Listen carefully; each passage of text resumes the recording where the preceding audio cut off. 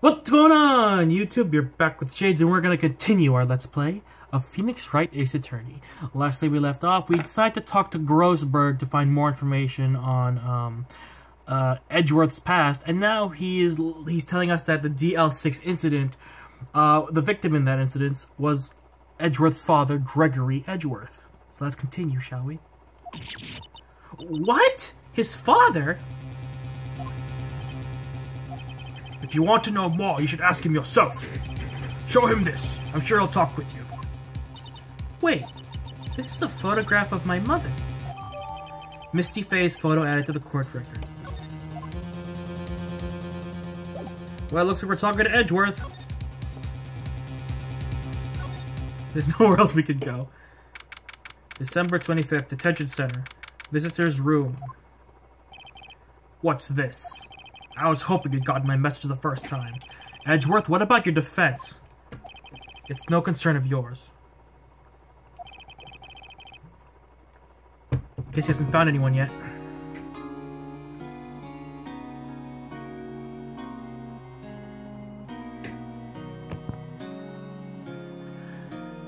Present the photo of Misty Fey.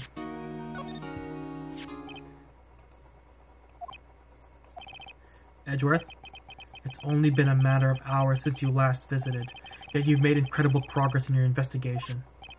I'll admit it, I'm impressed, right? You were always single-minded in your work, though. Once you start on something, you always see it through, don't you? About the DL6 incident. Right, DL6. I didn't want you to find out about it. This is why I refused your offer to defend me. I'm sorry if it sounded like I thought you weren't up to the job. I just wanted to keep you away from DL6. So, do you still think it would have been better for me to stay away? Why, like, is there a way for me to, like, increase the frame rate speed? I mean, the... I don't think there is. I don't know, but... I see no point in hiding anything from you now. Very well. Ask whatever you'd like, and I will act to the best of my abilities.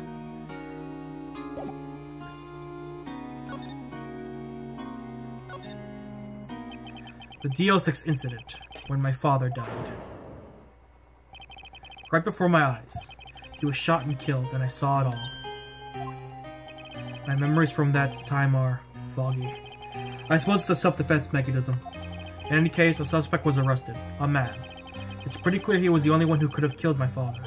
The spirit medium they used to kill, take, talk to my late father said the same thing.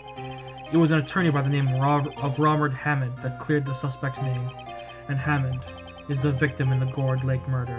Oh, and Hammond is the victim in the Gourd Lake murder? Correct. Um, that spirit medium, that was my mom. What? You mean you're...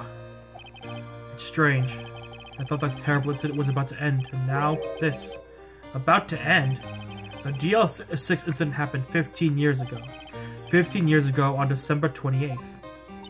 December 28th? The statute of limitations on the case runs out in three days. What?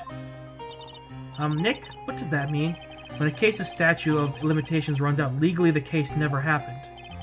Three days from now, DL6 will be closed. Forever. What happened to the suspect? The one who got off innocent? I don't know. He disappeared from public view. Nobody knows where to. If he's still alive, he'd be about 50 years old now. I guess I can understand why he'd go into hiding.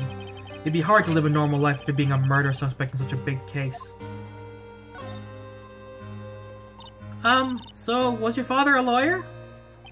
He was. Gregory Edgeworth. He was quite famous at the time, apparently. So, you were sort of trying to follow in his footsteps. I'd rather not talk about it.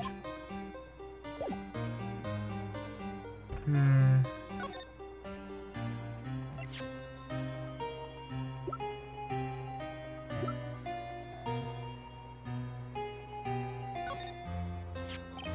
Hmm. Who would have thought there'd be a photo? Edgeworth, did you shoot him? What do you think, Wright? I don't think you're the kind to point a gun at anyone, no. So you didn't shoot him? No, I didn't. It wasn't me. Right. It pains me to ask you this now. I know, you want us to defend you. Yes. Will you? Of course we won't! Just, just, just hit the no button right there. It's gonna bring me back to this, but yeah, of course we will. Who could have guessed that this day would come? Not me. This is my chance to finally pay you back. Pay him back? Pay me back? For what? I don't remember ever doing anything for you. Never mind, I guess you don't really need to know. Huh. My letter of request. Please give it to Detective Gumshoe. Yay, got the request letter! Well, I guess we should. What's that? Earthquake? Nick! It's a big one! Wah! It's calming down. Phew. That was scary. Huh? Where's Edgeworth? There. He's on the floor in, the, a, in a ball, shivering. Guess he doesn't do that so well with earthquakes. I've heard of running, but curling up in a ball? Well, I guess we're done. Mr. Edgeworth doesn't seem like he's going to stand up anytime soon. Let's go, Nick. Uh, right. We have to give Edgeworth a letter request to Detective Gumshoe.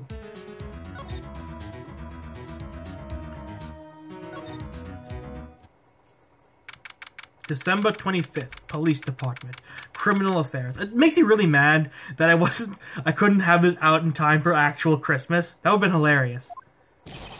What's going on here? Eek! What's wrong, detective? This wild lady comes up in here just a while ago, says she came to talk to y'all after hearing what Mr. Wright had to say. What's this about, pal? Lotta Hart. What are you going around finding more witnesses? Want to give Miss Edgeworth a death sentence, pal? No, not at all. Just, I mean, she did see something. There's nothing I can do about that. I can't go around covering up evidence. Uh, you trying to say something about the way I do my job? No, sir.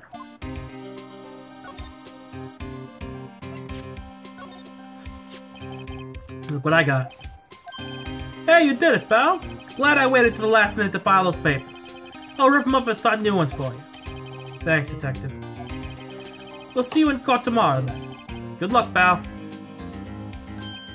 Hey, you guys feel that earthquake a little while back? I was worried. Worried? We're fine. I've lived out here my whole life. I'm pretty much used to them by now. Oh, I wasn't worried about you, though. I was worried about Mr. Edgeworth. Alright.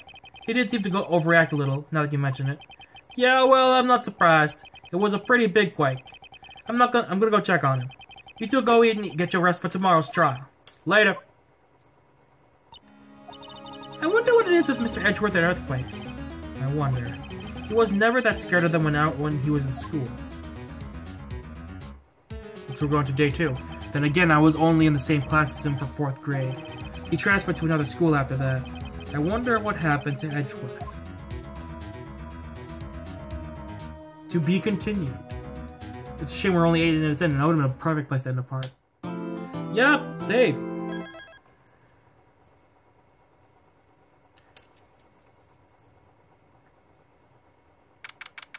Hold on.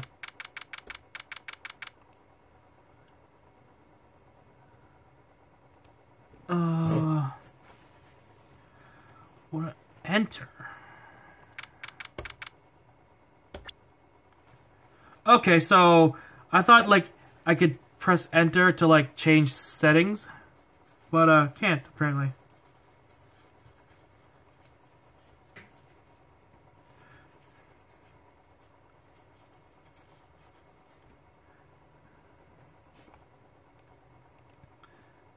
Oh well, whatever. December 26th, 9.44 a.m. District Court, Defendant Lobby Number 2. Karma? That's right, Manfred von Karma. He's the best prosecutor there is. He hasn't lost a case in his 40-year career. He's a god of prosecution, right? A god! Not a single case. He'll do anything to get the guilty verdict. Anything. Hmm, sounds like someone else I know, Edgeworth. Huh. You don't understand. I mean, he'll really do anything. Manfred von Karma is a man to be feared. That's quite a claim coming from someone who forges evidence. He taught me what it really means to prosecute. What? Just picture a prosecutor as vicious as me, multiplied by a factor of 10. Ugh. So, he was your teacher, Mr. Edgeworth? Something like that. And now he's trying to get you found guilty, what a creep. Oh wait, maybe he's planning on losing on purpose to help you out. Not a chance. He hasn't lost once in 40 years. 40 years! He's as ruthless as me at times 20. That's pretty ruthless. Like I said, he's a god among prosecutors. I guess that's something like like Mia was to me. Speaking of Mia, um, Maya, uh huh. You could really be using Mia's help right now, don't you think? Oh, I can't. Sorry. I tried. I really tried, but I couldn't reach. You couldn't reach? I think it's because I haven't been training. My powers are weak again. Oh man, what bad timing. I'm really sorry. I'll try my best. I hope so. What are you whispering about? Oh, it's nothing. Well, it's time. Let's head in. She was gonna transform in the court with giant gazumgas. December 26, 10 a.m., District Courtroom number 3. And here we are. Court is now in session for the trial of Miles Edgeworth. The defense is ready, Your Honor. Uh, Mr. Von Karma, is the prosecution ready? Fool. You seriously think that I would stand here where I'm not completely prepared? Alright, my apologies. He's even got the judge scared. Very well, your opponent, opening statement, please. Decisive evidence. A decisive, a decisive witness. What else could possibly be required? I attempted to give him a Transylvanian accent because it's like the Von thing. Vlad von Tepish. Oh, wait, I, I, didn't read that. The prosecution may call its first witness. What's with this guy? Is he royalty or something? How am I supposed to fight against this? I call... I call the detective in charge of this case. Detective Dick Gumshoe. Okay, Gumshoe's first. Let's see how this goes. Describe the incident. Now. Yes, sir. Detective Gumshoe looks nervous. Uh, please take a look at the map. The murder happened late Christmas Eve around midnight. There was one boat in the very middle of the lake. There were two men on the boat. Now, there happened to be a woman camping near on the edge of the lake. At 12.10 a.m., she heard two pistol shots. Then the boat started to move. It went toward the boat rental shop. Hmm. Overhead map added to court record. Testify to the court about your arrest. Now. Wait, Mr. Von Karma. Yes. Actually, I'm the one that's supposed to be handling the proceedings. Why does everyone do the finger wag? Wrong. There's only one thing you need to do here. You will slam down your gavel and say the word guilty. That is your role. Uh, yes, of course. You're quite right. No, he's not!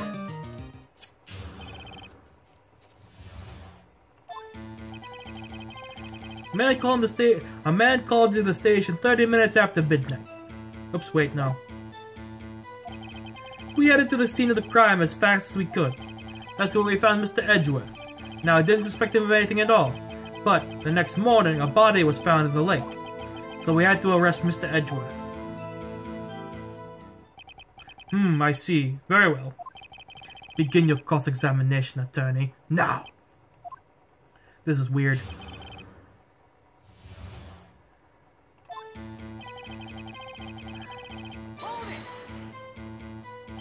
You received a call from a man? Uh, yep. But you said there was a woman camping there. She was the one who heard the two gunshots, right? That woman and the man who called in the report are two different people, obviously. Different people? There were two witnesses. Ugh. I heard his voice, I'm gonna change it, because it's hard for me to stick to an accent. The testimonies were quite similar, however. Today I've summoned the woman who was camping. The woman who was camping without a heart. What happened next, Detective?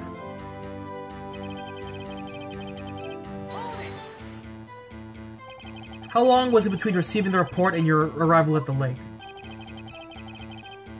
Yeah, well, I'd say it was about three minutes. That's pretty fast. Our motto for the month is get there quick. Detective, you will refrain from casually revealing department secrets. Yes, sir. Sorry, sir. Do that and you'll be able to look forward to your next salary review. So much look forward to these days. This is no time for daydreaming. Continue. Yes, sir. That's where we found Mr. Edgeworth. What was Mr. Edgeworth like when you saw him then? Well, from what I saw, he looked pretty relaxed. Not like a murderer at all, really.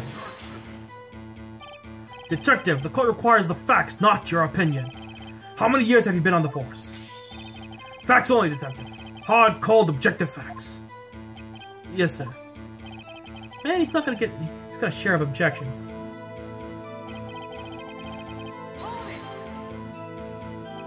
Why didn't you think he was suspicious? You should know. We have a deep, trusting relationship with the pros- prosecutors. Detective, the court is interested in your musings. Deep, trusting, poppycock. I've never heard so many flippant comments from an active detective on the force.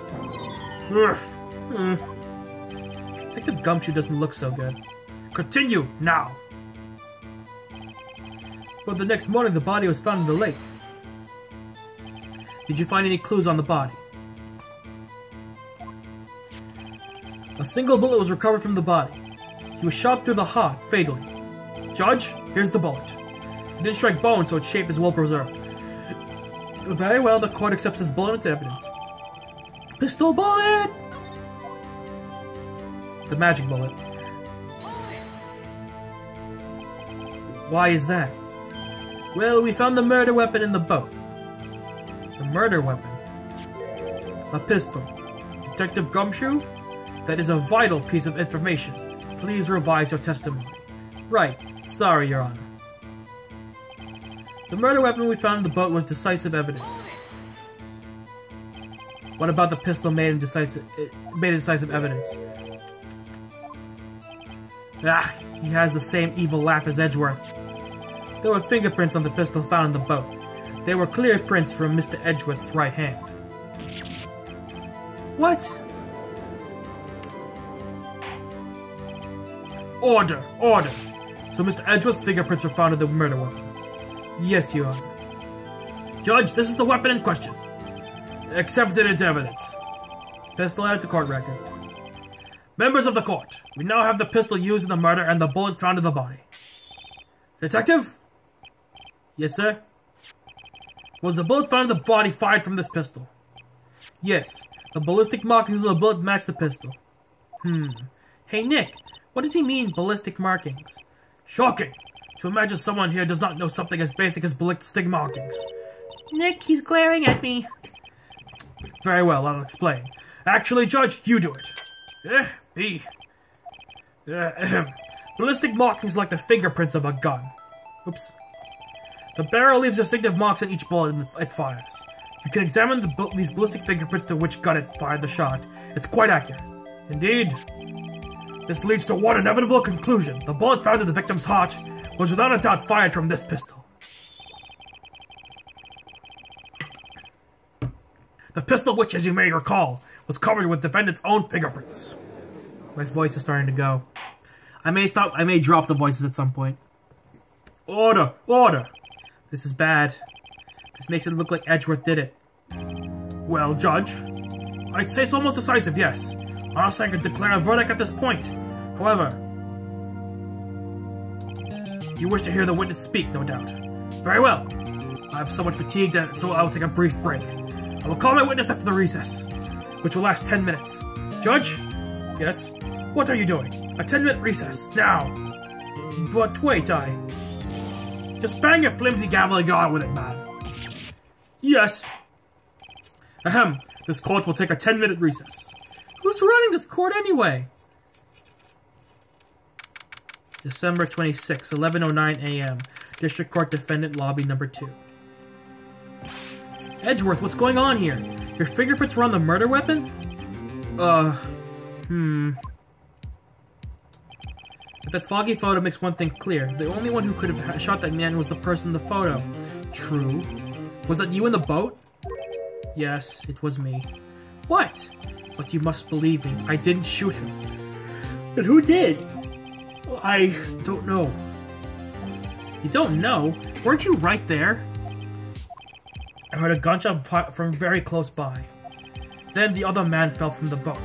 I can't say why, but I thought at the time that he had shot himself. You mean it was a suicide? That's the only explanation I could come up with.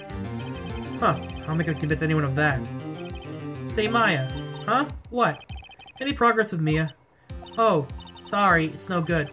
Ugh, I know. I'm no good for anything, am I, Nick? If I can't call my sister, I might as well not be here, right? No, I need you here. Of course not, I need you here. I can see you're always trying to help out. Even if you don't actually help, it's the thought that counts, right? It's okay, Nick, you don't have to make me feel better. I don't know anything about trials or defense. What's more, I'm a spirit medium who can't even contact spirits. Oh, everyone has their off days. I mean, I've just been getting lucky lately. But you never know when my luck's gonna run out. Really. Whoa, right! Don't jinx this case any worse than it already is. It's bad for my heart. Uh, oh! Sorry. Whoops. Back in the room! We're back in session, bitches! Court is back in session. Mr. Von Karma, call your witness. Yes. Will Mr. Lotta Hart, will Miss Lotta Hart take the stand? Lotta Hart, you are a research student at a university. That I am. Good. Begin by telling us what you saw the night of the incident. And don't add anything trivial or subjective. Understand? Y'all need to learn some manners. Understand? Yeah, I understand. I understand. Uh, very well, your testimony, please. It's hard for me to hold a Western accent. It's very hard. It was Christmas Eve, just after, after midnight, I reckon. I was in my car. I heard this bang come from the lake. When I looked out the window, I saw two gents in a boat. There was another bang. There wasn't area thing on the lake, but that boat. Enough. Huh? Judge, you happen to take a photo of the incident. This is the photo. Accept it as evidence. Well, this is a surprise. This looks like the very moment of the murder. Order! I will remove you from the court if I didn't have order immediately. As the witness testified, she looked at the lake when she heard the shot. There was no other boats in the lake. So the man in the boat with the victim must have been the one who shot him. Yes, it was the defendant, Miles Edgeworth. Order! Order! I will have order. Well, Judge, the evidence is decisive. I have very little doubt about this case. Very well, this court finds the defendant. Wait, Your Honor! I haven't cross examined the witness yet. A cross examination? We have the photographic proof. What question can there possibly be? This photo is worth a thousand words, and they all read guilty. You lose. Or do you claim to have found a contradiction in her testimony? Very well. If you have to, have to, you may cross-examine the witness. You'll only flounder in asking meaningless questions. You will fail to find anything. And then I'll have you held contempt of court. Uh, Nick, contempt? Contempt of court, you know. I guess I understand. Well, what are you going to do? Do you really think there was a contradiction with the facts in her testimony? Uh... Uh, I think there was. I... I think I noticed one little thing. Wow, I'm impressed, Nick. I didn't notice anything. Right? Let's take him on. Yeah, I got a bad feeling about this. I understand. I will cross-examine the witness. Very well. I pray for your sake this isn't a waste of time.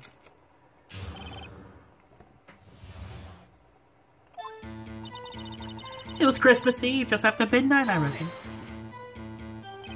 Just after midnight, you say? In other words, it was no longer Christmas Eve, but Christmas Day. Huh? Uh, yeah, well, yes. Objection! I know you want to find contradictions, but really...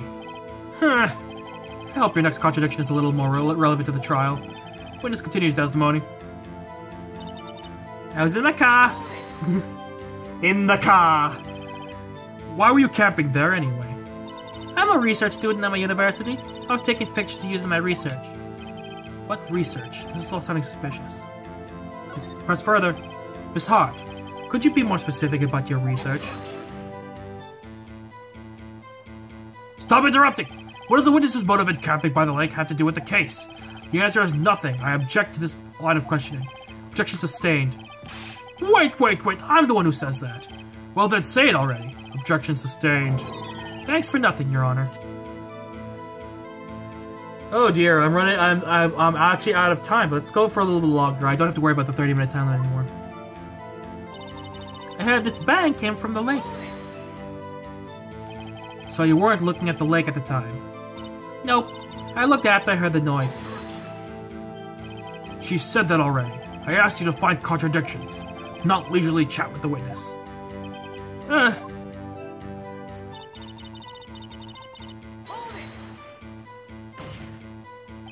Could you clearly see the two men? Just look at the picture. Clear enough for you? Uh-oh. Uh, well, let's keep pressing further. Wait a second. I wasn't asking about the photo. I was asking if you saw the two men. Uh, yeah, well, of course. The witness has testified that she saw them. There's also a photo. You must look elsewhere for your precious contradictions. He jumped in quick. He's hiding something.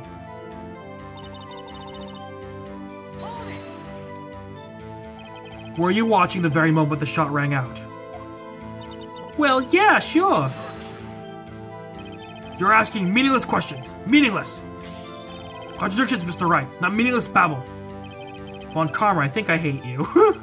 He's trying to keep me from talking to the witness. To what end?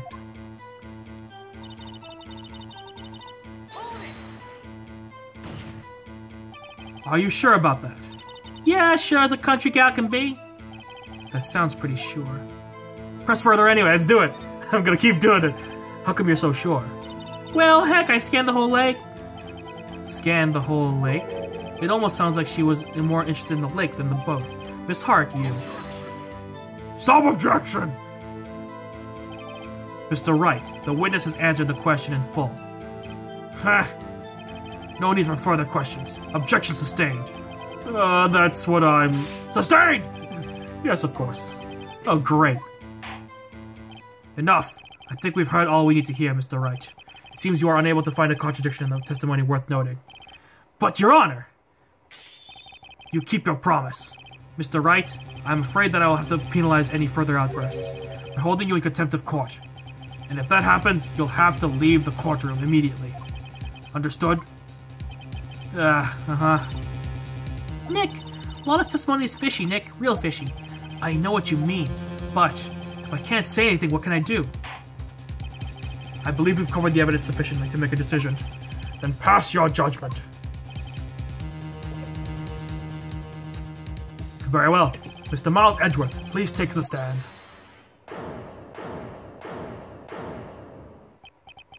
Who was that? It was me. Maya? Something wrong? Do you need to use the facilities?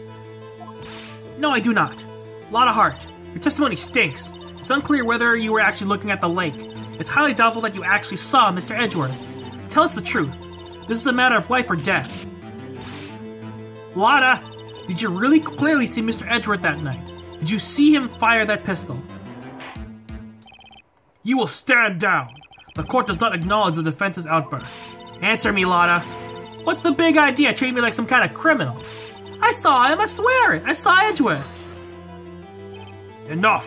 Judge, declare the defense in contempt of court.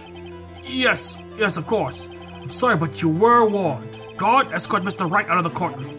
He's in contempt of court and must leave. No. No. Wait! I was the one who made the outburst, Your Honor. Nick is innocent. Ha! Huh. What's the difference? All that remains is for the guilty verdict to be declared. Isn't that right, Mr. Phoenix Wright? Wrong! Wrong. What? Did you hear what Miss Hart just said? She said she clearly saw Mr. Edgeworth. That was not in the testimony. That changes her testimony, and I have the right to cross-examine her again. Order! Order! Order! Order! Order! Order! You're in contempt of court. It's too late for a wild claims. Judge, sustain my objection. I'm sorry, Mr. Von Karma, but I cannot. What? Miss Lotta Hart has made a new testimony. The defense does have a right to cross-examine her again. But he's in contempt of court! No, I am. If you're going to arrest someone, arrest me. Hmm. Very well. My affair. You will leave the courtroom immediately. Nick, I did what I could. I could. You have to do the rest. Good luck. Maya. Poor little girl, poor little baby girl. Oh shit, I just realized I should have ended the part already. Fuck. Uh, so anyway, I'm gonna end the part here. Thank you guys so much for watching. I'm gonna continue pick it up right in the next part. I'm sorry I have to wait a week for it. And this uh, outro's gonna end up uh, be a little little, little short because I just gotta do it. I got caught up in the game. Sorry. Uh, thanks guys for so much for watching. I'll see you guys next time. Bye.